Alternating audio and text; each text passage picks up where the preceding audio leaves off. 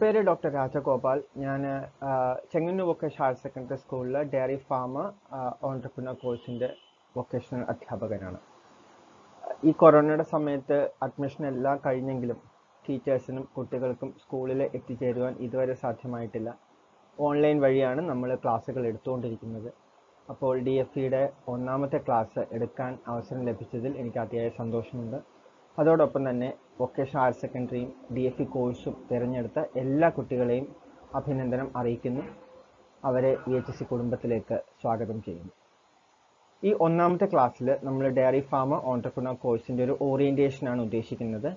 ആ ഓറിയന്റേഷന് വേണ്ടിയിട്ട് നമ്മൾ ഈ കോഴ്സിന്റെ അല്ലെങ്കിൽ ഈ ജോബ് റോളിന്റെ ഡീറ്റെയിൽസ് ഇത് ഈ കോഴ്സിൽ എന്തൊക്കെ പഠിക്കാനുണ്ട് ഈ കോഴ്സിന്റെ കരിക്കുലാർ കോ കരിക്കുലാർ ആക്ടിവിറ്റീസ് എന്തൊക്കെയാണ് ഈ കോഴ്സിന്റെ ജോബ് പ്രോസ്പെക്ട്സ് അല്ലെങ്കിൽ ജോലി സാധ്യതകൾ എന്തൊക്കെയാണ് ഹയർ സ്റ്റഡി ഓപ്ഷൻസ് എന്തൊക്കെയാണ് അതോടൊപ്പം ഇവാലുവേഷനെ കുറിച്ച് വളരെ ബ്രീഫായിട്ട് കൂടി ഈ സെഷനിൽ നമ്മൾ നോക്കാൻ പോകുന്നു. അപ്പോൾ ആദ്യമായിട്ട് നിങ്ങൾ വൊക്കേഷൻ ഹയർ സെക്കൻഡറിയെ കുറിച്ചൊക്കെ നോക്കിയ സമയത്ത് കുറേ പുതിയ വാക്കുകളൊക്കെ അല്ലെങ്കിൽ ഒരു പുതിയ കുറേ പദ്ധതികളെ കുറിച്ചൊക്കെ നിങ്ങൾ വായിച്ചു കാണും. അതിൽ ഏറ്റവും പ്രധാനപ്പെട്ടതാണ് N S Q F national skills qualifications framework എന്നാണ് അതിന്റെ പൂർണ രൂപം. പേര് സൂചിപ്പിക്കുന്ന പോലെ തന്നെ കുട്ടികളിൽ ഒരു സ്കിൽ ഡെവലപ്മെന്റ് ഉണ്ടാക്കാൻ വേണ്ടിയിട്ടുള്ള ഒരു പദ്ധതിയാണ് എൻ എസ് ക്യു എഫ് അപ്പോൾ നമ്മൾ കുറേ പഠനങ്ങളൊക്കെ നോക്കിക്കഴിഞ്ഞാൽ നമുക്ക് മനസ്സിലാവുന്ന ഒരു കാര്യമുണ്ട്. പത്തൊമ്പത് മുതൽ ഇരുപത്തിരണ്ട് വയസ്സ് വരെ പ്രായമുള്ള ആൾക്കാരിൽ അക്കാഡമിക് എഡ്യൂക്കേഷനാണ് കൂടുതലായിട്ടുള്ളത്. സ്കിൽ എഡ്യൂക്കേഷൻ വലുതായിട്ട് വരുന്നില്ല. അതേസമയം മറ്റ് വിദേശ രാജ്യങ്ങളൊക്കെ നോക്കുകയാണെന്നുണ്ടെങ്കിൽ ഈ പ്രായപരിധിയിൽ സ്കിൽ എഡ്യൂക്കേഷൻ കിട്ടിയതായിട്ട് കാണുന്നുണ്ട്. അപ്പോൾ അതിന്റെ കുഴപ്പം എന്താണ്? നമുക്കെല്ലാം അക്കാഡമിക്കലി നമ്മളെല്ലാം വളരെ സ്ട്രോങ് ആണെങ്കിലും പല കാര്യങ്ങളും ചെയ്യാനുള്ള സ്കില്ല് നമുക്കിപ്പോഴും ഇല്ല. അത് ആ സ്കിൽ എഡ്യൂക്കേഷനിലൂടെ മാറ്റിയെടുക്കാൻ സാധിക്കും എന്നുള്ള ഒരു ഉദ്ദേശത്തിലാണ് എൻ എസ് ക്യു എഫ് തുടങ്ങിയിരിക്കുന്നത്. അതുപോലെ തന്നെ പല ജോലികൾ ചെയ്യാൻ നമുക്ക് ആൾക്കാരെ കിട്ടുന്നുമില്ല. അപ്പോൾ ആ ഒരു സ്കിൽ ഗ്യാപ്പ് കുറയ്ക്കാൻ വേണ്ടിയിട്ട് കൂടിയാണ് എൻ എസ് ക്യു എഫ് കൊണ്ടുവന്നിരിക്കുന്നത്.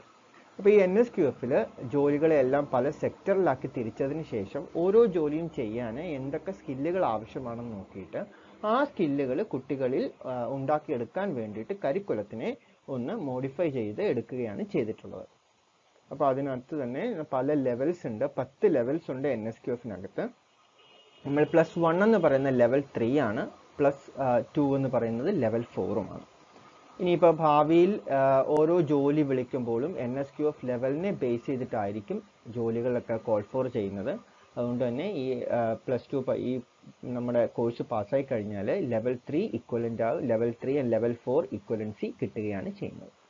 ഇപ്പം നമ്മളുടെ ഡയറി ഫാമിംഗ് മേഖലയിലേക്ക് വരുവാണെന്നുണ്ടെങ്കിൽ നമുക്ക് വലിയൊരു മാറ്റം ഇപ്പോൾ കാണാൻ സാധിക്കുന്നുണ്ട്. നേരത്തെയൊക്കെ ഡയറി ഫാമേഴ്സ് എന്ന് പറഞ്ഞാൽ ചെറിയ ചെറിയ അഞ്ചോ പത്തോ പശുക്കളെ വളർത്തുന്ന ചെറിയ ഫാമേഴ്സ് ആയിട്ടായിരുന്നു.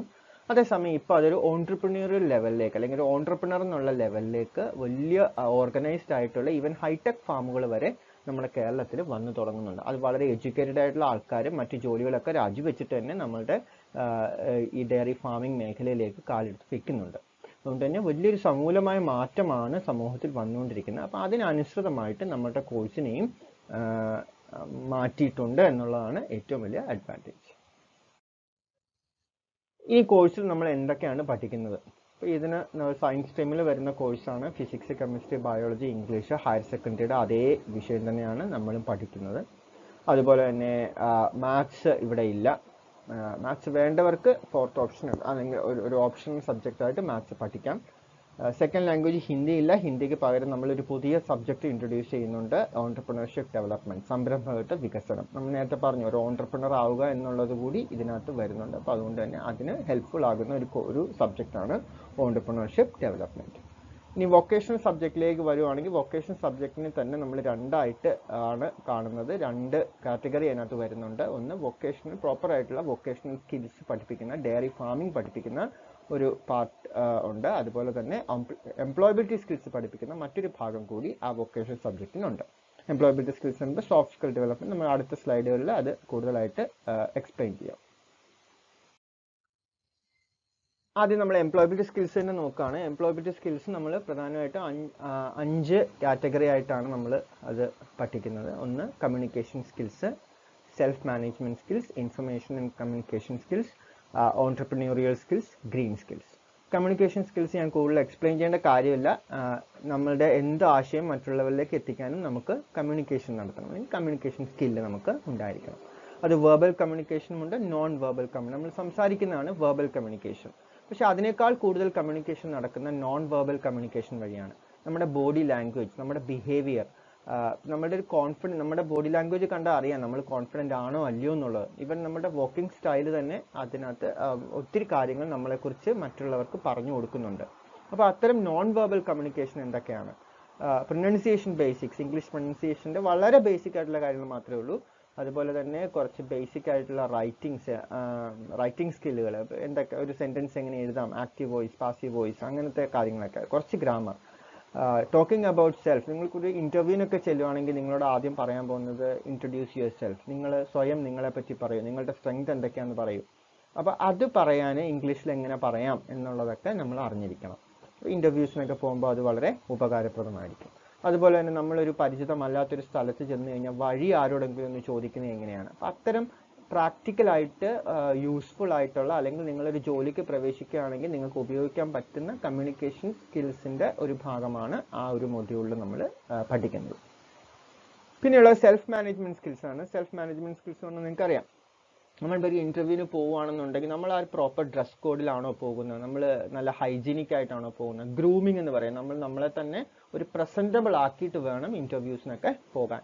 അപ്പോൾ ആ രീതിയിൽ എങ്ങനെ ചെയ്യാൻ സാധിക്കും? ആ ഒരു ഗ്രൂമിംഗ് സ്കിൽസ് നമുക്ക് എങ്ങനെ നേടിയെടുക്കാൻ സാധിക്കും? പേഴ്സണൽ ഹൈജീൻ നമുക്ക് എങ്ങനെ മെയിന്റെയിൻ ചെയ്യാൻ സാധിക്കും? അതിനോടൊപ്പം തന്നെ സെൽഫ് മോട്ടിവേഷൻ നമുക്കിപ്പോൾ ഒത്തിരി കഴിവുകളുണ്ടെങ്കിലും അതൊന്നും നമുക്ക് പ്രകടിപ്പിക്കാൻ പറ്റുന്നില്ല എന്നുണ്ടെങ്കിൽ അല്ലെങ്കിൽ അതിനുള്ള കോൺഫിഡൻസ് നമുക്ക് അതിനുള്ള മോട്ടിവേഷൻ നമുക്കില്ല എന്നുണ്ടെങ്കിൽ അതിപ്പോൾ ജോലിയിൽ പ്രവേശിച്ചു കഴിഞ്ഞാലും ആ ഒരു മോട്ടിവേഷൻ ഇല്ല എന്നുണ്ടെങ്കിൽ ജോലി ചെയ്യുന്നതിൽ ഒത്തിരി വീഴ്ചകൾ വരുത്തും. അപ്പോൾ ആ ഒരു സെൽഫ് മോട്ടിവേഷൻ എങ്ങനെ ക്രിയേറ്റ് ചെയ്യാമെന്നും അത് എങ്ങനെ മെയിന്റെയിൻ ചെയ്ത് കൊണ്ടുപോകാമെന്നും അതുപോലെ തന്നെ ഒരു ഗോൾ സെറ്റിംഗ് വളരെ പ്രധാനപ്പെട്ട കാര്യമാണ്. ലക്ഷ്യബോധം ഉണ്ടാവണം പ്രത്യേകിച്ചും നിങ്ങൾ കുട്ടികളുടെ കേസിൽ ഇപ്പം വളരെ നിങ്ങളൊരു ട്രാൻസിഷൻ ഫേസിലാണ് നിങ്ങളുടെ ഭാവിയിലേക്കുള്ള കാൽവെപ്പ് നിങ്ങൾക്ക് ഈ ഒരു ഈ ഒരു സമയത്താണ് വെക്കേണ്ടത്. അപ്പോൾ അതിനുള്ള ഫണ്ടമെന്റൽസ് ഒക്കെ നിങ്ങൾ ക്രിയേറ്റ് ചെയ്യണം. അല്ലെങ്കിൽ നമ്മൾ ആ സ്റ്റെപ്പിംഗ് സ്റ്റെപ്സ് നിങ്ങൾ ക്രിയേറ്റ് ചെയ്യുന്ന സമയമാണ്. അപ്പോൾ ആ ഒരു ഗോൾസ് നിങ്ങൾ നിങ്ങളുടെ ലക്ഷ്യങ്ങളൊക്കെ സെറ്റ് ചെയ്യേണ്ട ഒരു സമയമാണ്. ഗോൾ സെറ്റിംഗ് അതെങ്ങനെ ചെയ്യാം? ഓരോരുത്തരുടെ ആപ്റ്റിറ്റ്യൂഡ് അനുസരിച്ച് എങ്ങനെ നമുക്ക് ഗോൾസ് സെറ്റ് ചെയ്യാൻ സാധിക്കും? അതുപോലെ ടൈം മാനേജ്മെന്റ് വളരെ പ്രധാനപ്പെട്ട ഒരു കാര്യമാണ്. Time is a terrible thing to face ഞാൻ പണ്ട് കൊച്ചിലെയൊക്കെ കേട്ടിട്ടുള്ള ഒരു സെന്റൻസ് ആണ്. അത് പലപ്പോഴും എനിക്ക് എനിക്കൊന്ന് നിങ്ങൾ കുട്ടികൾ അതൊന്ന് റൂമിലൊക്കെ ഒന്ന് എഴുതിയിടുന്നതിന് നല്ലതാണ്. സമയം നമുക്ക് വിലപ്പെട്ടതാണ്. സമയം നമുക്ക് കളയാനുള്ളതല്ല. സമയം നമുക്ക് ലിമിറ്റഡ് ആണ്. നമുക്ക് തിരിച്ചു പിടിക്കാൻ പറ്റാത്തൊരു സാധനമാണ്. അപ്പോൾ അതിനെ നമ്മൾ എങ്ങനെ പ്രോപ്പറായിട്ട് മാനേജ് ചെയ്യുന്നു? ഇപ്പോൾ നമുക്കറിയാം അമേരിക്കൻ പ്രസിഡന്റിനും നമുക്കുമൊക്കെ ഒരേ സമയമാണുള്ളത്. പക്ഷേ അമേരിക്കൻ പ്രസിഡന്റ് എങ്ങനെ സമയം ചെലവഴിക്കുന്നു? നമ്മൾ എങ്ങനെ സമയം ചെലവഴിക്കുന്നു എന്ന് ആലോചിച്ച് നോക്കിയാൽ നമുക്ക് മനസ്സിലാകും. അപ്പോൾ ആ ഒരു പ്രോപ്പറായിട്ടുള്ള ടൈം മാനേജ്മെന്റ് എങ്ങനെയാണ് ചെയ്യുന്നതെന്നൊക്കെയുള്ള കാര്യങ്ങൾ ആ ഒരു മൊഡ്യൂളിനകത്ത് ഉൾപ്പെടുത്തിയിട്ടുണ്ട്.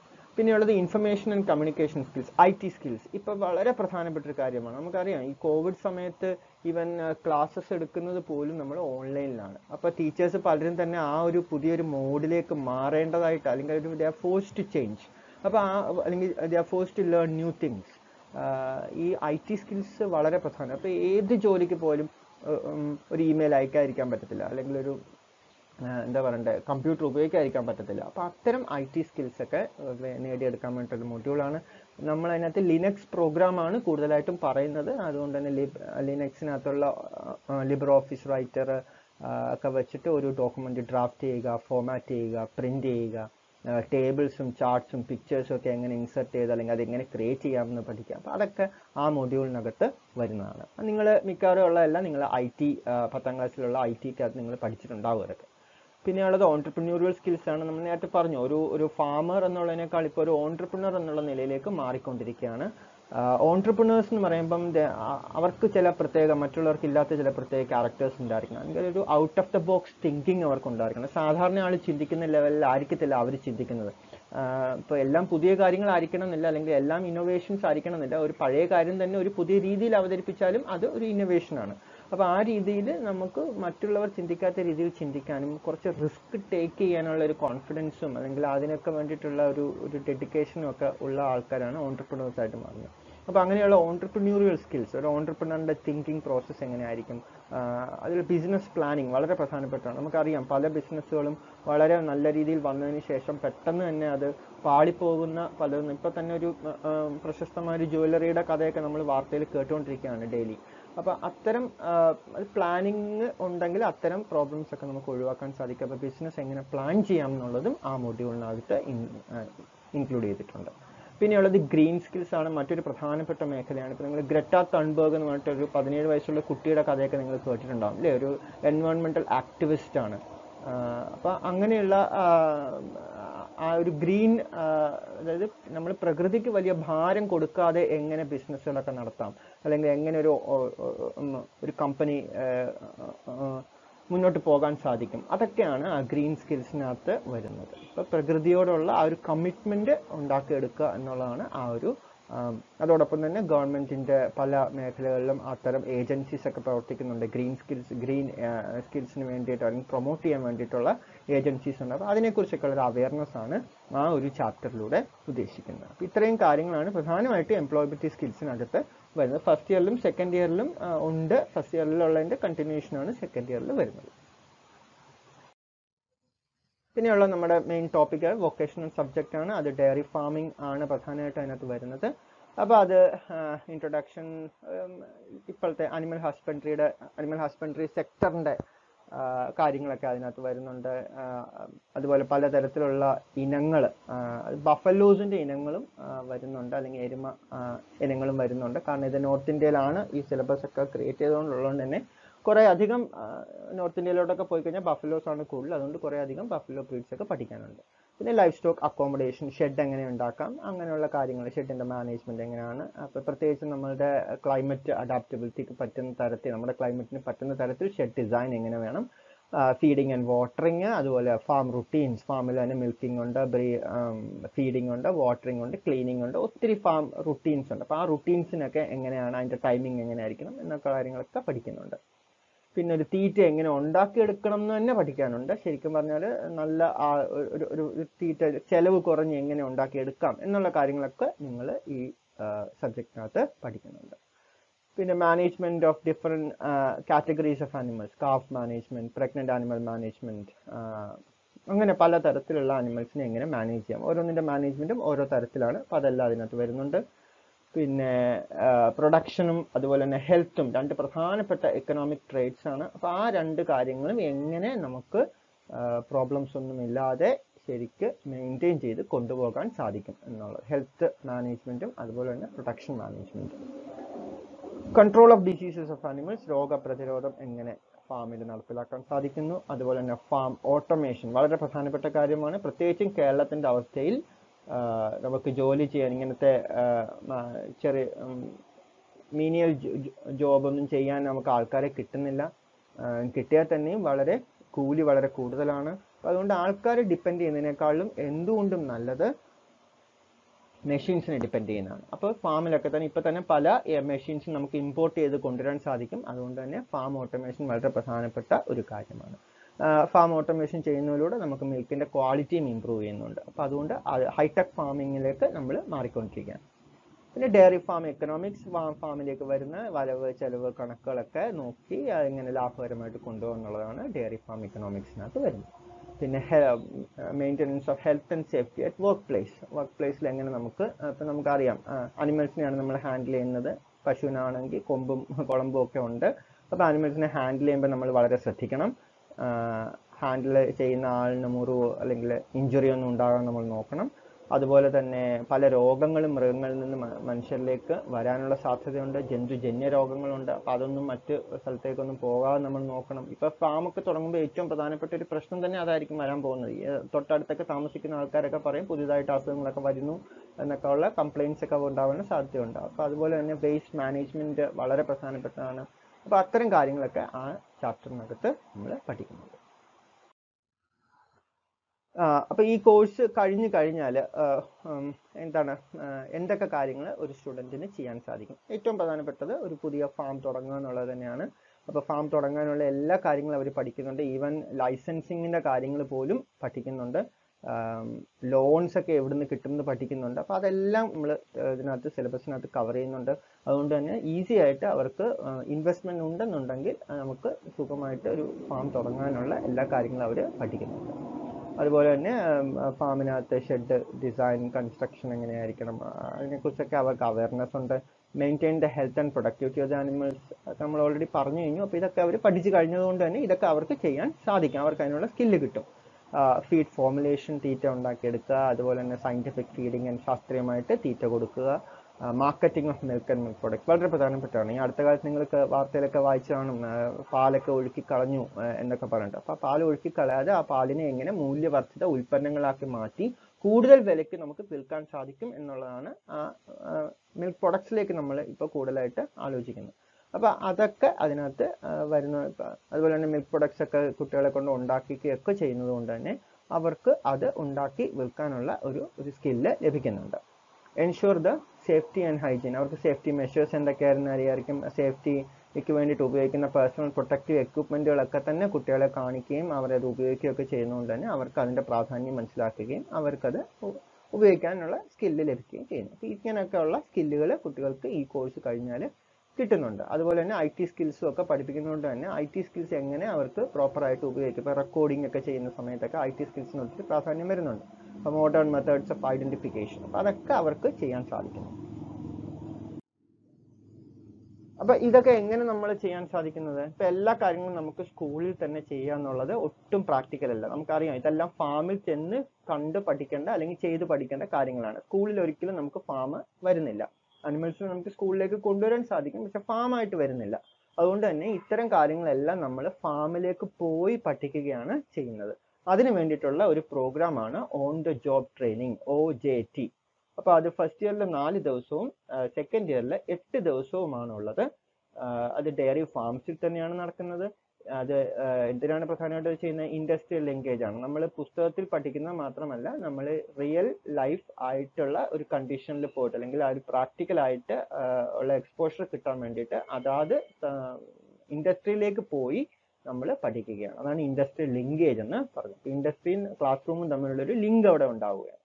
Exposure to actual practices in the real life field condition നമ്മൾ തിയറി പഠിക്കുന്ന എല്ലാം ചിലപ്പോൾ നമ്മൾ പ്രാക്ടിക്കലിൽ അതുപോലെ ചെയ്തെന്നിരിക്കത്തില്ല അപ്പൊ അതിൽ ഉള്ള പ്രാക്ടിക്കൽ ആയിട്ട് എങ്ങനെയാണ് ഓരോ കാര്യങ്ങൾ ചെയ്യുന്നതെന്നാണ് നമ്മൾ ഈ ഒ ജെ ടിയിലൂടെ നമ്മൾ പഠിക്കുന്നത്. അപ്പോൾ അത് പ്രാക്ടിക്കൽ ഓറിയന്റഡ് ആയിട്ടുള്ള ഒരു സിലബസ് ആയതുകൊണ്ടാണ് ആ ഒ ജെ ടി വരുന്നത്. അതുപോലെ തന്നെ സ്കിൽഡ് ഡെവലപ്മെന്റ് ഈ ഒ ജെ ടിയിലൂടെയാണ് നമുക്ക് നടത്താൻ സാധിക്കുന്നത്. കാരണം ഫാം നമ്മൾ സ്കൂളിൽ ഇല്ല.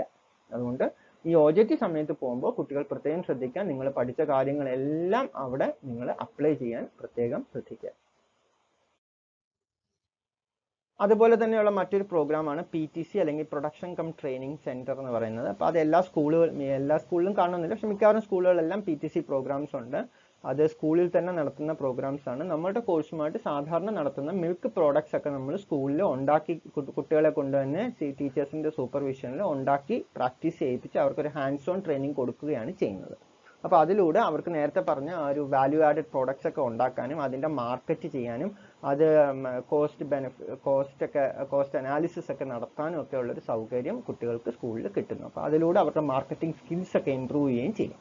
അതാണ് പി ടി സി എന്ന് പറയുന്ന പ്രോഗ്രാം പിന്നെയുള്ളത് വൊക്കേഷണൽ എക്സ്പോസ് ആണ്. ഈ പറഞ്ഞ പി ടി സിയുടെ ഒരു എക്സ്റ്റൻഷനാണ് വൊക്കേഷണൽ എക്സ്പോ എന്ന് പറയുന്നത്. അത് ഒരു ഒരു- എക്സിബിഷനാണ് ഇപ്പോൾ നമ്മളുടെ സ്കൂളിൽ നടക്കുന്ന ഓരോ കോഴ്സിലും നടക്കുന്ന പ്രോഗ്രാംസ് നാട്ടുകാരിലേക്ക് എത്തിക്കാൻ അല്ലെങ്കിൽ പബ്ലിക്കിലേക്ക് എത്തിക്കാൻ വേണ്ടിയിട്ടുള്ള ഒരു ശ്രമമാണ് വൊക്കേഷണൽ എക്സ്പോ എന്ന് പറയുന്നത്. അപ്പോൾ അത് സ്കൂൾ ലെവലിൽ ആദ്യം നടത്തിയതിന് ശേഷം റീജിയണൽ ലെവലിൽ ഓരോ റീജിയണിൽ നടത്തും. റീജിയണിൽ പ്രൈസ് കിട്ടുന്ന ആൾക്കാരെ സ്റ്റേറ്റ് ലെവലിൽ മത്സരിപ്പിക്കുകയും ചെയ്യും.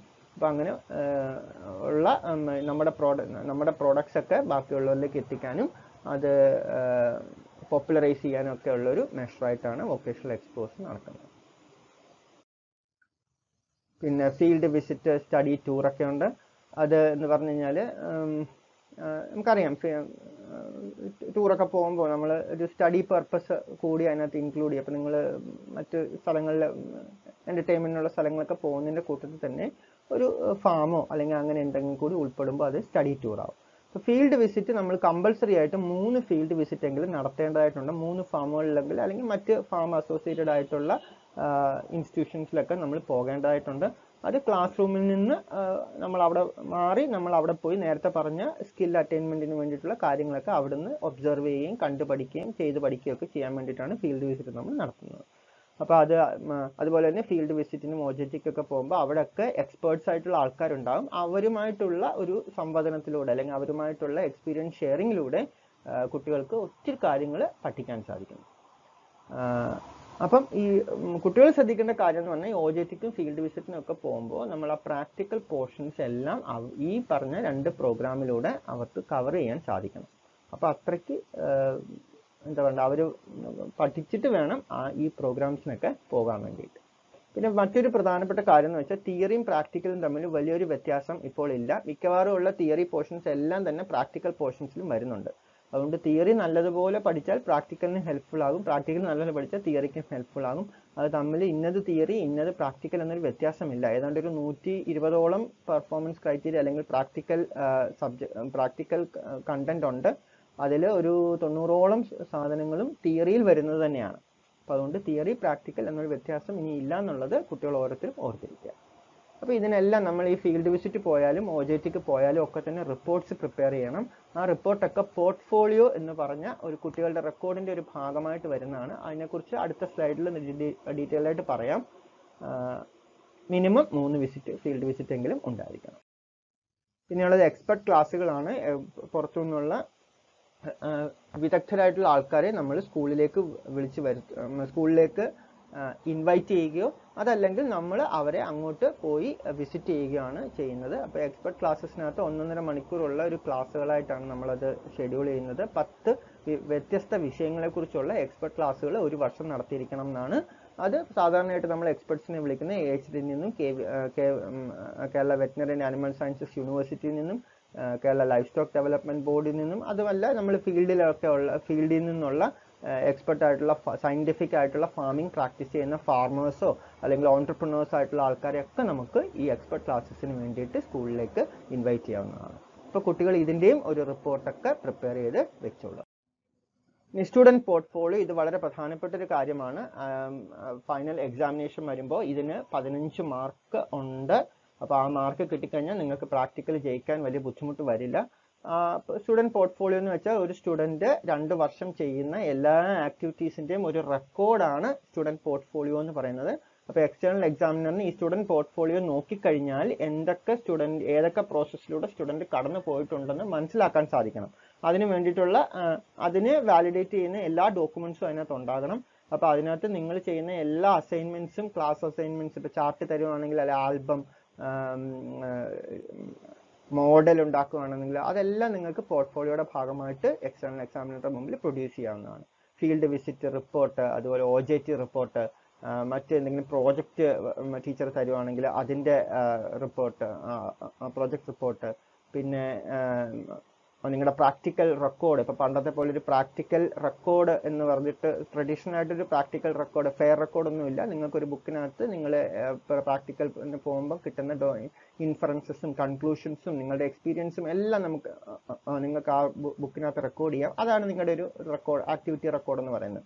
അപ്പോൾ അത് നിങ്ങൾക്ക് പോർട്ട്ഫോളിയോയുടെ ഭാഗമായിട്ട് പ്രത്യേകിച്ച് ചെയ്യാവുന്നതാണ്. പിന്നെ ഇപ്പോഴത്തെ കാലത്ത് നമുക്ക് ഡിജിറ്റൽ പോർട്ട്ഫോളിയോ പോലും ആലോചിക്കാവുന്നതാണ്. ഇപ്പം നിങ്ങൾ ടീച്ചർ നിങ്ങൾക്ക് ഒരു പ്രസന്റേഷൻ തന്നു. നിങ്ങൾ അതൊരു വീഡിയോ ആയിട്ട് പ്രസന്റ് ചെയ്തിട്ടുണ്ടെന്നുണ്ടെങ്കിൽ ആ വീഡിയോ നിങ്ങൾക്ക് എക്സ്റ്റേണൽ എക്സാമിനറുടെ മുമ്പിൽ പ്രൊഡ്യൂസ് ചെയ്യാവുന്നതാണ് as a part of the portfolio അപ്പോൾ അത് ഡിജിറ്റൽ പോർട്ട്ഫോളിയോ ആയിട്ട് നിങ്ങൾക്ക് പ്രസന്റ് ചെയ്യാം. അപ്പോൾ അത് എല്ലാ കുട്ടികളും പ്രത്യേകം ശ്രദ്ധിക്കുക. നിങ്ങൾ എന്ത് ചെയ്താലും അതിന്റെ ഒരു റെക്കോർഡ് ഉണ്ടാക്കി വെച്ചോളുക. ഇവാലുവേഷൻ എന്ന് പറയുന്നത് നമുക്ക് തിയറി ഇവാലുവേഷനും ഉണ്ട് പ്രാക്ടിക്കൽ ഇവാലുവേഷനും ഉണ്ട്. തിയറി ഇവാലുവേഷൻ ഫസ്റ്റ് ഇയറിലും സെക്കൻഡ് ഇയറിലും നമ്മളുടെ വൊക്കേഷണൽ ഹയർ സെക്കൻഡറി ഡിപ്പാർട്ട്മെന്റ് തന്നെയാണ് നടത്തുന്നത്. പ്രാക്ടിക്കൽ എക്സാമിനേഷൻ ഫസ്റ്റ് ഇയറിൽ നമ്മളുടെ വൊക്കേഷണൽ ഹയർ സെക്കൻഡറി ഡിപ്പാർട്ട്മെന്റ് തന്നെയാണ് നടത്തുന്നത്. ഞങ്ങളുടെ സ്കൂളിൽ നിന്നുള്ള ടീച്ചറും ഉണ്ടാകും. അതുപോലെ തന്നെ മറ്റ് ഒരു സ്കൂളിൽ നിന്നുള്ള വൊക്കേഷണൽ ടീച്ചർമാരിൽ ആരെങ്കിലും ഒരാൾ- എക്സ്റ്റേണൽ എക്സാമിനറായിട്ട് വരുന്നുണ്ടാകും പക്ഷേ സെക്കൻഡ് ഇയറിൽ അങ്ങനെയല്ല. സെക്കൻഡ് ഇയറിൽ സെക്ടർ സ്കിൽ കൗൺസിൽ അപ്പോയിന്റ് ചെയ്യുന്ന എക്സ്റ്റേണൽ എക്സാമിനറാണ് വരുന്നത്. അത് ടീച്ചേഴ്സ് ആയിരിക്കത്തില്ല. അതുകൊണ്ട് അവർക്ക് അവരുടെ മുമ്പിൽ നിങ്ങൾ വളരെ കൃത്യമായിട്ട് പ്രാക്ടിക്കൽസ് പെർഫോം ചെയ്തെങ്കിൽ മാത്രമേ നിങ്ങൾ ജയിക്കുകയുള്ളൂ. അപ്പോൾ അതുകൊണ്ട് അത് നല്ല പ്രിപ്പയർഡ് ആയിട്ട് തന്നെ ഇത് ഈ പറഞ്ഞ പോർട്ട്ഫോളിയോയും ഒക്കെ വളരെ കൃത്യമായിട്ട് ചെയ്തിട്ട് വേണം ആ സെക്കൻഡ് ഇയറിന്റെ എക്സ്റ്റേണൽ എക്സാമിനറിന്റെ മുമ്പിൽ നിങ്ങൾ പ്രൊഡ്യൂസ് ചെയ്യാൻ. അപ്പോൾ അത് വളരെ സീരിയസ് ആയിട്ട് തന്നെ ഫസ്റ്റ് ഇയറിലെ തൊട്ട് തന്നെ ശ്രദ്ധിക്കുക. ഫസ്റ്റ് ഇയറിലെയും സെക്കൻഡ് ഇയറിലെയും പോർഷൻസ് അവർ അസസ്മെന്റ് നടത്തും. അതുകൊണ്ട് തന്നെ ഫസ്റ്റ് ഇയറും നല്ലതുപോലെ ചെയ്യണം സെക്കൻഡ് ഇയറിലും നല്ലതുപോലെ ചെയ്യണം. ഫസ്റ്റ് ഇയറിലെ പ്രാക്ടിക്കൽസും സെക്കൻഡ് ഇയറിലെ പ്രാക്ടിക്കൽസും ചോദിക്കും. അതുകൊണ്ട് രണ്ടും പഠിച്ചിട്ട് വേണം സെക്കൻഡ് ഇയറിൽ പോകാൻ. തിയറി എക്സാമിനേഷൻ അമ്പത് മാർക്കാണ് രണ്ട് മണിക്കൂറും നാൽപ്പത്തിയഞ്ച് മിനിറ്റുമാണ് അതിന്റെ സമയം. അതിന് രണ്ട് പാർട്ടുണ്ട് എംപ്ലോയബിലിറ്റി സ്കിൽസും വൊക്കേഷണൽ സ്കിൽസും എംപ്ലോയബിലിറ്റി സ്കിൽസിന് പത്ത് മാർക്കും നമ്മൾ നേരത്തെ പറഞ്ഞ കാര്യങ്ങളൊക്കെയാണ് അതിനകത്ത് വരുന്നത്. എംപ്ലോയബിലിറ്റി സ്കിൽസ് പത്ത് മാർക്കും വൊക്കേഷണൽ സ്കിൽസ് ഡയറി ഫാമിങ്ങിന്റെ നാൽപ്പത് മാർക്കുമാണ് ചോദിക്കുന്നത്. അതിൽ തന്നെ ക്വസ്റ്റ്യൻസ് നോക്കുവാണെങ്കിൽ ഒരു മാർക്കിന്റെ ചോദ്യമുണ്ട് രണ്ട് മാർക്കിന്റെ ചോദ്യമുണ്ട് മൂന്ന് മാർക്കിന്റെ ചോദ്യമുണ്ട്. ഈ എംപ്ലോയബിലിറ്റി സ്കിൽസിന് ഒരു മാർക്കിനും രണ്ട് മാർക്കിനും ചോയ്സ് ഒന്നുമില്ല. മൂന്ന് മാർക്കിന് മാത്രമേ ചോയ്സ് ഉള്ളൂ. വൊക്കേഷണൽ സ്കില്ലിന് രണ്ട് മാർക്കിനും മൂന്ന് മാർക്കിനും ചോയ്സ് നിങ്ങൾക്ക് കിട്ടും. Separate minimum pass pass mark ഇല്ല ഫസ്റ്റ് ഇയറിലില്ല അഗ്രഗേറ്റ് ആയിട്ട് പാസ് പാസ് മാർക്ക് കിട്ടിയാൽ മതി. അപ്പം ഫസ്റ്റ് ഇയറിലും സെക്കൻഡ് ഇയറിലും കൂടെ ചേർന്ന് നിങ്ങൾക്ക് നൂറിൽ മുപ്പത് മാർക്ക് കിട്ടിക്കഴിഞ്ഞാൽ നിങ്ങൾ തിയറി പാസ്സാകും മനസ്സിലായല്ലോ? നൂറിൽ മുപ്പത് മാർക്ക് ഇതാണ് നമുക്ക് നിങ്ങൾ പാസ്സായി കഴിഞ്ഞാൽ പ്രാക്ടിക്കലി നിങ്ങൾ പാസ്സാവുകയാണെങ്കിൽ നിങ്ങൾക്ക് കിട്ടുന്ന അഗ്രികൾച്ചർ സ്കിൽ കൗൺസിൽ ഓഫ് ഇന്ത്യയുടെ സർട്ടിഫിക്കറ്റ് ആണ് നിങ്ങൾക്ക് കിട്ടുന്നത്. അവരുടെ സർട്ടിഫിക്കറ്റിന് നാഷണലിയും ഇന്റർനാഷണലിയും ആയിട്ടുള്ള റെക്കഗ്നിഷൻ ഉണ്ടാകും എന്നുള്ളത് പ്രത്യേകം ഓർമ്മയിൽ വയ്ക്കുക ഇനി പ്രാക്ടിക്കൽ ഇവാലുവേഷൻ ഈ സർട്ടിഫിക്കറ്റ് കിട്ടണമെന്നുണ്ടെങ്കിൽ ഈ പ്രാക്ടിക്കൽ ഇവാലുവേഷൻ പാസ്സാകണം. അപ്പോൾ ആ പ്രാക്ടിക്കൽ ഇവാലുവേഷന്റെ മാർക്ക് എങ്ങനെയാണ്? പതിനഞ്ചും മുപ്പത്തഞ്ച് മാർക്കും കൂടെ ചേർന്ന് അമ്പത് മാർക്കാണ് പ്രാക്ടിക്കൽ ഇവാലുവേഷൻ അതിൽ ആ പതിനഞ്ച് മാർക്കാണ് നമ്മൾ നേരത്തെ പറഞ്ഞ പോർട്ട്ഫോളിയോയ്ക്കുള്ളത് അപ്പോൾ പോർട്ട്ഫോളിയോ നല്ല വൃത്തിയായിട്ട് ചെയ്തു കഴിഞ്ഞാൽ നിങ്ങൾക്ക് ആ പതിനഞ്ച് മാർക്കും വാങ്ങാൻ സാധിക്കും. ഡ്യൂറേഷൻ മൂന്ന് മണിക്കൂറാണ്. അതിൽ പതിനഞ്ച് കുട്ടികളുടെ ഒരു ബാച്ചായിട്ടാണ് പരീക്ഷ നടത്തുന്നത്. പ്രൊജക്ട് വർക്ക് ഇവാലുവേഷൻ അല്ലെങ്കിൽ പോർട്ട്ഫോളിയോ ഇവാലുവേഷന് പതിനഞ്ച് മാർക്കുണ്ട് അതിനകത്ത് മെയിനായിട്ടും വരുന്ന പോർട്ട്ഫോളിയോ ആണ്. പിന്നെ പ്രാക്ടിക്കൽ വർക്ക് നമ്മൾ ഡെമോൺസ്ട്രേഷനും മറ്റുമൊക്കെ വരുന്നത് മുപ്പത്തഞ്ച് മാർക്കിനാണ് അപ്പോൾ ആ രണ്ടും കൂടെ ചേർന്നാണ് അമ്പത് എന്ന് പറഞ്ഞത്. അപ്പോൾ അതിന് പാസ്സാകാൻ വേണ്ടിയിട്ട് ഫസ്റ്റ് ഇയറിലും അമ്പത് മാർക്ക് അമ്പത് ശതമാനം വേണം. അതായത് അമ്പതിൽ ഇരുപത്തഞ്ച് മാർക്ക് നിങ്ങൾ ഫസ്റ്റ് ഇയറിലും വാങ്ങിക്കണം. ഇരുപത്തഞ്ച് മാർക്ക് സെക്കൻഡ് ഇയറിൽ വാങ്ങണം. എന്നാലേ നിങ്ങൾ പാസ്സാകുന്നുള്ളൂ പ്രാക്ടിക്കൽ പാസ്സാകുന്നുള്ളൂ അതിൽ സെക്കൻഡ് ഇയറിന്റെ കാര്യത്തിലാണ് ഏറ്റവും പ്രധാന പ്രശ്നം വരുന്നത്. കാരണം അത് എക്സ്റ്റേണൽ എക്സാമിനർ ആയിട്ടാണ് സെക്ടർ സ്കിൽ കൗൺസിലിന്റെ എക്സ്റ്റേണൽ എക്സാമിനറാണ് വരുന്നത്. അതുകൊണ്ട് വളരെ സീരിയസ് ആയിട്ട് തന്നെ സെക്കൻഡ് ഇയർ പരീക്ഷയെ അഭിമുഖീകരിക്കുക. സെക്കൻഡ് ഇയറിൽ പക്ഷേ ഫസ്റ്റ് ഇയറിലെ പോർഷൻസും ചോദിക്കും എന്നുള്ള കാര്യം കൂടി കുട്ടികൾ മനസ്സിൽ വെച്ചേക്കുക. ഓക്കെ പിന്നെ അടുത്തത് ഹയർ സ്റ്റഡീസ് ആണ്. ഹയർ സ്റ്റഡീസ് നിങ്ങൾക്ക് സാധാരണ ഇതിനകത്തുള്ളത് പോലെ തന്നെ ബാച്ചുലർ ഓഫ് വൊക്കേഷൻ എന്ന് പറഞ്ഞിട്ടുള്ള ഡിഗ്രി കോഴ്സാണ് പക്ഷെ എല്ലാ കോളേജസിലും ഒന്നും ബി വോ കോഴ്സസ് ഇല്ല. പിന്നെ നമ്മുടെ ട്രഡീഷണൽ ആയിട്ടുള്ള ഡിഗ്രി അതെല്ലാം നിങ്ങൾക്ക് ഇപ്പം ഹയർ സെക്കൻഡറിക്കാർക്ക് പോകുന്ന എല്ലാ ഓപ്ഷൻസും നിങ്ങൾക്ക് ഓപ്പൺ ആണ്. നിങ്ങൾക്ക് പോകാം. അതിനോടൊപ്പം തന്നെ അഡീഷണൽ ഓപ്ഷൻസും ഉണ്ടെന്നുള്ളതാണ്. പിന്നെ ബി എ ബി കോം അതിനൊക്കെ നിങ്ങൾക്ക് പോകാം. L L B fashion technology hotel management diploma in agriculture അതുപോലെ തന്നെ നഴ്സിംഗ് ഒത്തിരി കുട്ടികൾ നഴ്സിംഗിന് പോകുന്നുണ്ട്. അപ്പോൾ അത് നിങ്ങൾക്ക് താല്പര്യം നഴ്സിംഗ് ആണെങ്കിൽ നഴ്സിംഗിന് പോകാം ഫിസിയോതെറാപ്പി പാരാമെഡിക്കൽ കോഴ്സുകൾ റേഡിയോളജി പോലെയുള്ള കോഴ്സുകൾ എല്ലാം നിങ്ങൾക്ക് ഓപ്പൺ ആണ്. പിന്നെ ഏറ്റവും പ്രധാനപ്പെട്ട മറ്റൊരു കാര്യം നിങ്ങൾക്ക് പ്രൊഫഷണൽ കോഴ്സസിന് പോകണമെന്നുണ്ടെങ്കിൽ ഇപ്പൊ നീറ്റ് എൻട്രൻസ് എഴുതണമെങ്കിൽ നിങ്ങൾക്ക് എഴുതാം. ഒരു പ്രശ്നവുമില്ല. അത് നീറ്റ് പരീക്ഷ നടത്തുന്നത് നാഷണൽ ടെസ്റ്റിംഗ് ഏജൻസിയാണ് അതൊരു സെപ്പറേറ്റ് ഏജൻസിയാണ് അവരാണ് നീറ്റ് പരീക്ഷ നടത്തുന്നത്. ഇപ്പൊ നീറ്റ് മൂന്ന് മണിക്കൂറുള്ള ഒരു പരീക്ഷയാണ്. എഴുന്നൂറ്റി ഇരുപത് മാർക്ക് ആണ് അതിന് ടോട്ടൽ ഉള്ളത്. നാൽപ്പത്തഞ്ച് ക്വസ്റ്റ്യൻസ് ഫിസിക്സിലും കെമിസ്ട്രിക്കും ഉണ്ട് വീതമുണ്ട്. തൊണ്ണൂറ് ക്വസ്റ്റ്യൻസ് ബയോളജി അത് നിങ്ങൾക്ക് അഡ്വാന്റേജ് ആണ്. കാരണം നിങ്ങൾക്ക് നിങ്ങളുടെ സ്ട്രോങ് സബ്ജക്റ്റ് ബയോളജിയാണ് ബയോളജിയിൽ നിന്നാണ് തൊണ്ണൂറ് ക്വസ്റ്റ്യൻസും ചോദിക്കുന്നത്. M B B S veterinary അതായത് B V S C and H B D S dental B D S B S C agriculture ഉണ്ട്. അതുപോലെ B A M S Ayurveda B H M S homeo ഇതിനൊക്കെ നിങ്ങൾക്ക് NEET വഴി admission നേടിയെടുക്കാവുന്നതാണ്. ഇനി B B S and H പഠിക്കുന്നതുകൊണ്ട് ഏറ്റവും B B S and H അല്ലെങ്കിൽ വെറ്റിനറിയുടെ സ്കോപ്പ് ഞാൻ പ്രത്യേകിച്ച് പറയേണ്ടതില്ല. ഏറ്റവും കൂടുതൽ ജോലി സാധ്യതയുള്ള എം ബി ബി എസിനോടൊപ്പം തന്നെ ജോലി സാധ്യതയുള്ള ഒരു ഒരു മേഖലയാണ് വെറ്റിനറി ഡോക്ടർ ആവുക എന്ന് പറയുന്നത്.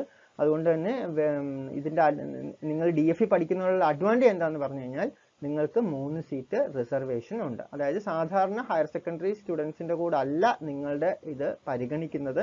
നിങ്ങൾ ശ്രദ്ധിച്ചറിയാം ഒരു സാധാരണ ഹയർ സെക്കൻഡറി കുട്ടി അഞ്ഞൂറ്റി നാല് അതായത് മണ്ണുത്തിയിലെ ഏറ്റവും last rank state merit rank വന്നത് മൂവായിരത്തി അറുന്നൂറ്റി ഒമ്പതാണ് ആ കുട്ടിക്ക് കിട്ടിയ മാർക്കാണ് അഞ്ഞൂറ്റി നാൽപ്പത് മാർക്ക് എന്ന് പറയുന്നത്. അപ്പോൾ ആ കുട്ടിയുടെ നീറ്റ് റാങ്ക് വന്നത് എത്രയാണ്? ഇരുപത്തി ഏഴായിരത്തി തൊള്ളായിരത്തി മൂന്നാണ് അതേസമയം മണ്ണുത്തിയിൽ തന്നെ നമ്മളുടെ റിസർവേഷനിൽ കിട്ടിയ കുട്ടിയുടെ റാങ്ക് ഒന്ന് ശ്രദ്ധിച്ചു നോക്കൂ. നീറ്റ് റാങ്ക് നാല് ലക്ഷത്തി അറുപത്തി മൂവായിരത്തി നാനൂറ്റി ഒന്നാണ് ആ കുട്ടിയുടെ വന്നത്. അതുപോലെ തന്നെ നീറ്റ് സ്കോർ വന്നത് ഇരുന്നൂറ്റി പത്താണ് അതായത് ജനറൽ കാറ്റഗറിയിലുള്ള അഞ്ഞൂറ്റി നാൽപ്പത് മാർക്ക് വാങ്ങിച്ച കുട്ടിയും നമ്മളുടെ ഡി എഫ് ഇ റിസർവേഷനിൽ ഇരുന്നൂറ്റി പത്ത് മാർക്ക് വാങ്ങിച്ച കുട്ടിയും രണ്ടു പേർക്കും വെറ്റിനറിക്ക് അഡ്മിഷൻ കിട്ടി. അപ്പൊ അതാണ് നമ്മളുടെ അഞ്ഞൂറ്റി നാൽപ്പത് മാർക്ക് വാങ്ങിക്കുന്നതാണോ ബുദ്ധിമുട്ട് ഇരുന്നൂറ്റി പത്ത് മാർക്ക് വാങ്ങിക്കുന്നതാണോ ബുദ്ധിമുട്ട് എന്നുള്ളത് ഒന്ന് ആലോചിച്ച് നോക്കുക. ഇരുന്നൂറ്റി പത്ത് വാങ്ങിക്കുന്നത് എളുപ്പമല്ല പക്ഷെ അഞ്ഞൂറ്റി നാൽപ്പത് മാർക്കും ഇരുന്നൂറ്റി ഇരുന്നൂറ്റി പത്ത് മാർക്കും കൂടെ കമ്പയർ ചെയ്യുമ്പോൾ ഏതാണ് എളുപ്പം? അപ്പോൾ അതാണ് വെറ്റിനറിക്ക് താല്പര്യമുള്ളവർക്ക് ഏറ്റവും വലിയ അഡ്വാന്റേജ് ആണ് ഡി എഫ് ഇ കോഴ്സിന് ചേരുക എന്നുള്ളത്. ഇനി മറ്റ് യുണീക്ക് ഓപ്ഷൻസ് എന്തൊക്കെയാണെന്ന് ചോദിച്ചു കഴിഞ്ഞാൽ യുണീക്ക് ഡിപ്ലോമ കോഴ്സുകൾ ഒക്കെ ഉണ്ട്. അതെല്ലാം കേരള വെറ്റിനറി അനിമൽ സയൻസസ് യൂണിവേഴ്സിറ്റിയിലാണ് നടത്തുന്നത്. Diploma in dairy production diploma in laboratory techniques diploma in feed technology ഇതൊക്കെ നിങ്ങൾക്ക് ചെയ്യാം. ഈ ഡിപ്ലോമയ്ക്ക് ചേർന്നാലും അതിന് അതിൽ നിന്ന് എൻട്രൻസ് എഴുതുന്ന നീറ്റ് എഴുതുന്നവർക്കും റിസർവേഷൻ ഉണ്ട്. അപ്പോൾ നിങ്ങൾക്ക് ഡിപ്ലോമയ്ക്ക് പോയിട്ട് അതിൽ നിന്ന് വേണമെങ്കിൽ നിങ്ങൾക്ക് നീറ്റ് ട്രൈ ചെയ്യാവുന്നതാണ്. Self employment starting a dairy farm നമ്മൾ നേരത്തെ പറഞ്ഞു എല്ലാ സ്കിൽസും നിങ്ങൾക്ക് കിട്ടുന്നുണ്ട്. എല്ലാ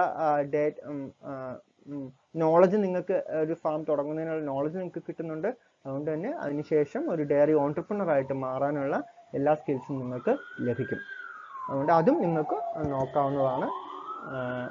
പിന്നെ ഈ ഡിപ്ലോമ ഒക്കെ എടുത്തതിന് ശേഷം നിങ്ങൾക്ക് ഡയറി ഫാം മാനേജർ പോസ്റ്റുകൾക്കൊക്കെ പ്രൈവറ്റ് കമ്പനീസിലൊക്കെ നിങ്ങൾക്ക് ചാൻസസ് ഉണ്ട്. അതുപോലെ ലൈഫ് സ്റ്റോക്ക് ഇൻസ്പെക്ടർ ഏറ്റവും പ്രധാനപ്പെട്ട ഒരു ജോബ് ഓപ്പർച്യൂണിറ്റി ആണ് അത് നേരത്തെ ലൈഫ് സ്റ്റോക്ക് മാനേജ്മെന്റ് ആയിരുന്നു ലൈഫ് സ്റ്റോക്ക് ഇൻസ്പെക്ടറിന്റെ പി എസ് സി പോസ്റ്റിനുള്ള എലിജിബിലിറ്റി ആയിട്ടുണ്ടായിരുന്നത്. ഇനിയിപ്പം കേരളത്തിലെ ഒരു സ്കൂളിലും ലൈഫ് സ്റ്റോക്ക് മാനേജ്മെന്റ് ഇല്ല. അതുകൊണ്ട് തന്നെ ഈ ലൈഫ് സ്റ്റോക്ക് മാനേജ്മെന്റിന്റെ സ്ഥാനത്തേക്ക് ഡയറി ഫാമർ ഓൺടർപ്രണറും അതുപോലെ തന്നെ സ്മോൾ പൗൾട്രി ഫാർമർ മറ്റൊരു അനിമൽ ഹസ്ബൻഡറിയുമായിട്ട് ബന്ധപ്പെട്ട ഒരു വൊക്കേഷണൽ കോഴ്സാണ് സ്മോൾ പൗൾട്രി ഫാർമർ ഇത് രണ്ടും ആ സ്ഥാനത്തേക്ക് വരാനുള്ള സാധ്യതയുണ്ട്. അതുപോലെ തന്നെ നമ്മുടെ ഡിപ്പാർട്ട്മെന്റിൽ നിന്ന് ഓൾറെഡി അതിനുള്ള പേപ്പേഴ്സ് ഒക്കെ മൂവ് ചെയ്ത് കഴിഞ്ഞു പി എസ് സി അംഗീകാരം മാത്രം ലഭിച്ചാൽ മതി. അതോടുകൂടി ആ ഒരു വലിയ ഓപ്പർച്യൂണിറ്റി കൂടി നമ്മളുടെ ഡി എഫ് സി കുട്ടികൾക്ക് തുറന്ന്. കിട്ടുന്നതാണ്. ഇതൊക്കെയാണ് ഡി എഫ് ഇ കോഴ്സിന് ഏറ്റവും പ്രധാനപ്പെട്ട ജോബ് ഓപ്പർച്യൂണിറ്റീസ് അപ്പോൾ ഹയർ സെക്കൻഡറിക്ക് കിട്ടുന്ന എല്ലാ ഓപ്ഷൻസിന്റെ കൂടെ നിങ്ങൾക്ക് അഡീഷണൽ ആയിട്ട് കിട്ടുന്ന ഓപ്ഷൻസ് ആണ് ആ പറഞ്ഞതൊക്കെ. ഇപ്പോൾ വെറ്റിനറിയുടെ കാര്യം ഏറ്റവും വലിയൊരു അഡ്വാന്റേജ് ആണ് വെറ്റിനറിക്ക് കിട്ടും താല്പര്യമുള്ള കുട്ടികൾക്ക് ഒരു ഏറ്റവും എളുപ്പത്തിൽ കിട്ടാനുള്ള ഒരു ഒരു കാര്യമാണ്. അല്ലെങ്കിൽ നോർമലി വെറ്റിനറിക്ക് കിട്ടണമെങ്കിൽ നേരത്തെ പറഞ്ഞ പോലെ ഒരു ടൂ തൗസൻഡ് ത്രീ തൗസൻഡ് റേഞ്ചിൽ റാങ്ക് കിട്ടിയാലേ പറ്റുള്ളൂ. അപ്പോൾ അതിന് പകരം തേർട്ടി തൗസൻഡ് ഒക്കെ കിട്ടിയാൽ പോലും കുട്ടികൾക്ക് ഡി എഫ് ഇയുടെ റിസർവേഷനിൽ കിട്ടുന്നുണ്ട്. പിന്നെ ഞാൻ കുറച്ച് ഹോംവർക്സ് ഒക്കെ പറഞ്ഞിട്ടുണ്ട്. എൻ എസ് ക്യു എഫിന്റെ ഫുൾ ഫോം എന്താണ് അങ്ങനെയുള്ള കാര്യങ്ങളൊക്കെ. ഞാൻ ഓൾറെഡി ഇതിനകത്ത് എക്സ്പ്ലെയിൻ ചെയ്തതാണ്. അപ്പം നിങ്ങളൊന്ന് ചെയ്ത് നോക്കിക്കോളുക. അതുപോലെ തന്നെ കുറച്ച് ക്വസ്റ്റ്യൻസ് ഒക്കെ കൊടുത്തിട്ടുണ്ട്. പിന്നെ കുറച്ച് ലിങ്ക് ഒക്കെ താഴെ കൊടുത്തിട്ടുണ്ട്. നിങ്ങൾക്ക് വേണമെങ്കിൽ ഇതിനെക്കുറിച്ച് കൂടുതൽ ഇൻഫർമേഷൻ വേണമെന്നുണ്ടെങ്കിൽ അതിൽ കയറി നോക്കാവുന്നതാണ്. അപ്പോൾ പ്രധാനപ്പെട്ട കാര്യങ്ങളൊക്കെ ഞാൻ കവർ ചെയ്തു എന്ന് വിചാരിക്കുന്നു.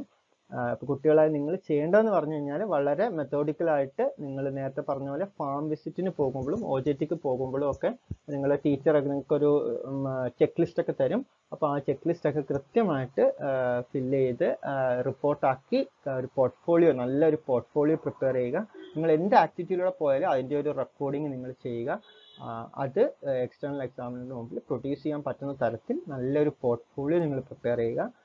നേരത്തെ പറഞ്ഞ പോലെ നിങ്ങൾ പഠിക്കുന്ന കാര്യങ്ങളൊക്കെ ജീവിതത്തിൽ ഒന്ന് അപ്ലൈ ചെയ്യുക. പറഞ്ഞ സെൽഫ് മോട്ടിവേഷൻ ഗ്രൂമിങ് അതുപോലെ നല്ല ഹാബിറ്റ്സ് ഒക്കെ ക്രിയേറ്റഡ് ക്രിയേറ്റ് ചെയ്തെടുക്കുക. അതുപോലെ ടൈം മാനേജ്മെന്റ് അപ്പോൾ അതൊക്കെ ഒന്ന് ചെയ്ത് കഴിഞ്ഞാൽ തന്നെ വളരെ ഒരു ഗോൾ ഒക്കെ സെറ്റ് ചെയ്ത് കഴിഞ്ഞാൽ നിങ്ങൾക്ക് നല്ല രീതിയിൽ ഭാവിയിൽ ഇതിന് ശേഷം നിങ്ങൾ ഏത് ജോലിക്ക് കയറിയാലും നിങ്ങൾ അതിന് എക്വിപ്ഡ് ആയിട്ട് നിങ്ങൾ സ്കിൽഡ് ആയിട്ട് മാറുക.